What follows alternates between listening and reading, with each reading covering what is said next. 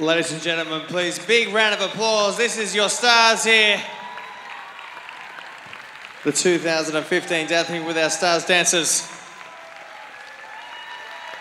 Glorious.